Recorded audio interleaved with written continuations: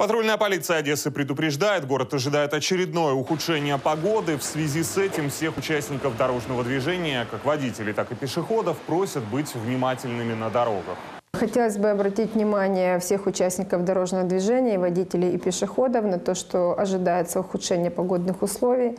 Это как плюсовая, так и минусовая температура, то есть резкие колебания, которые приводят к тому, что а, осадки, дорога мокрая, скользкая, и водитель обязан быть прежде всего внимательным. Еще раз напомнить о безопасной скорости движения, а также дистанции с другими транспортными средствами. Как отметили в патрульной полиции, за последние дни в городе увеличилось количество ДТП именно по причине непогоды. Еще одна причина усложнения дорожной обстановки – это невнимательные пешеходы.